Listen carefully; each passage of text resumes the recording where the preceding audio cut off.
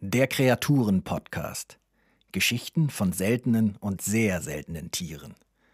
Präsentiert von Citizen Conservation. Haltung rettet Arten. Heute Tom Hillenbrand, Schriftsteller. Das goldene Löwenäffchen. Bankraub, Goldraub, Kunstraub, kennt man alles. Aber wer weiß schon, dass es auch Zooräuber gibt? Zooräuber sind ganz besonders niederträchtige Subjekte, denn sie rauben zum Beispiel goldene Löwenäffchen. Diese sind zwar nicht aus Gold, sondern verdanken ihren Namen der charakteristischen Frisur, die sie mit den berühmten männlichen Großkatzen teilen, einer goldenen Mähne also, aber auf dem Schwarzmarkt für exotische Tiere sind sie offenbar Gold wert.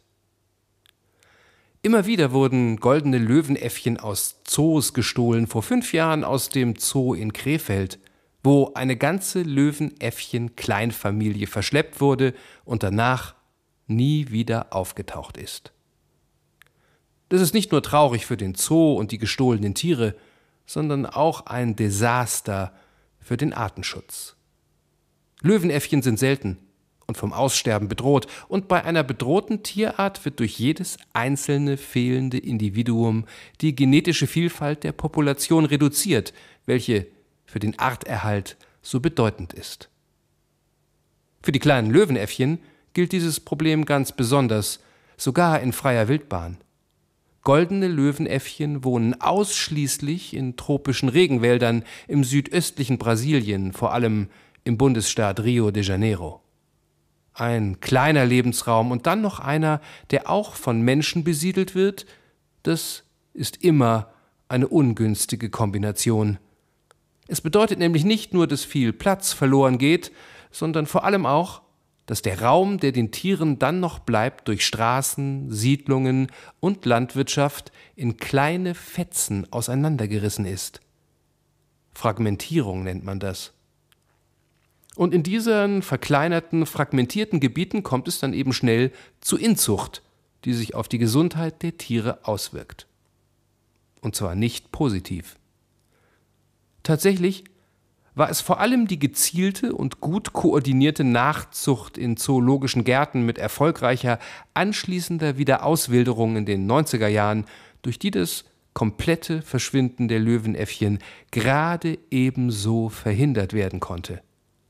Ihre Zahl in der brasilianischen Wildnis liegt aktuell wieder im vierstelligen Bereich, immerhin. Zusätzlich leben einige hundert Exemplare in verschiedenen zoologischen Gärten weltweit, die rechtlich dem Staat Brasilien gehören. Wie alle Tierarten in wissenschaftlich geführten Zoos werden sie wie eine zusammenhängende Population behandelt und regelmäßig zwischen den Zoos ausgetauscht, um Inzucht zu vermeiden. Bei Menschen beliebt sind goldene Löwenäffchen natürlich auch deshalb, weil sie so hübsch anzusehen sind, mit ihrem seidigen Fell in leuchtendem Goldorange und der besagten goldenen Mähne ums putzige kleine Gesicht herum. Um die 30 Zentimeter messen sie von Kopf bis Rumpf und als Krallenaffen haben sie an Händen und Füßen nicht Nägel wie die meisten anderen Affen, sondern eben Krallen, mit denen sie besonders behende an Baumstämmen entlang klettern können, auch kopfüber von oben nach unten.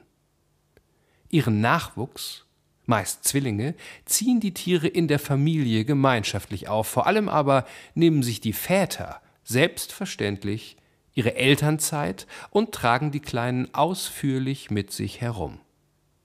Sympathisch und fortschrittlich sind sie also auch noch. Solche freundlichen Wesen zu kidnappen oder kidnappen zu lassen, sie illegal fair oder anzukaufen und damit ihren Fortbestand zu gefährden, so ein Programm kann von uns aus gern vollständig und für alle Zeit gecancelt werden. Danke fürs Zuhören. Das war ein Podcast von Citizen Conservation. Haltung rettet Arten. Eine Initiative zum Aufbau koordinierter Erhaltungszuchten gegen das Artensterben. Text Ulrike Sterblich. Citizen Conservation finden Sie auch auf Facebook, Instagram, Twitter und YouTube oder unter www.citizen-conservation.org. Citizen.